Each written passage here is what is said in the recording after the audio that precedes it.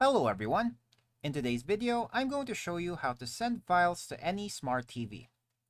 So for the first method, you can try using apps like Send Files to TV or File Share, as this can make the process easy. So basically just look for file transfer apps on your smart TV. Then install the app on both your smart TV and your mobile device.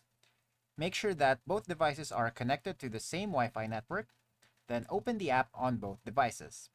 Select the file you want to send on your mobile device, and then choose your TV from the list of available devices. Then finally, send the file and wait for the transfer to complete. Next, you can also try using an FTP server. So first up, install an FTP server app like CX File Explorer on your TV. Start the FTP service on the app, and then on your computer, add a network location using the FTP address provided by the app.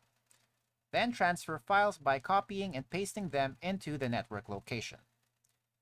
Next, you can also try using a USB drive for TVs with USB ports. So just copy the files you want to transfer onto a USB drive, insert the USB drive into the TV's USB port, and access the files using the TV's file manager.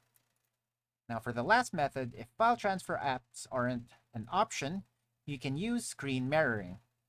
So just enable screen mirroring on your TV, then connect your mobile device to the same Wi-Fi network as your TV, and then use a mirroring app or the built-in mirroring feature on your device to share your screen with the TV. And that's it for today. Thanks for tuning in, and I'll see you next time.